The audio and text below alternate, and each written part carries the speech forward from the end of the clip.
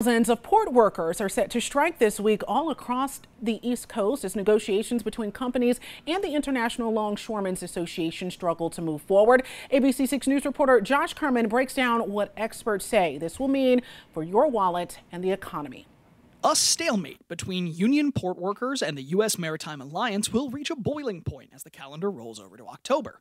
The strike could bring nearly two thirds of U.S. trade to a halt and cost billions of dollars. It's estimated that a strike would cost somewhere around $5 billion a day. The disagreement is between the International Longshore and Warehouse Union, which represents port workers all across the country, and the United States Maritime Alliance, representing terminal operators and ocean carriers.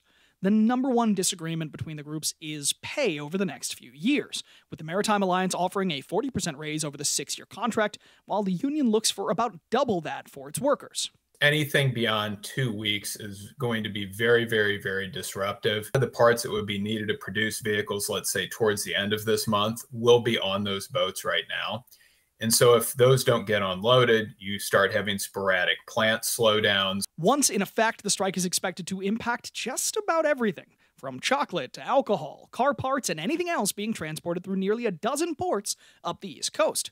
Concerns are also growing about recovering from a strike. According to the National Retail Federation, a one day shutdown takes three to five days to recover from. The longer it goes, the worse it gets. Economists estimate a week long strike could reduce U.S. GDP between $4.5 to $7.5 billion, or 0.1% annualized for every week that it continues.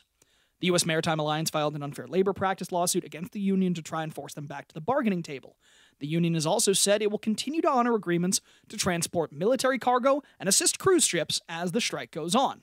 Josh Kerman.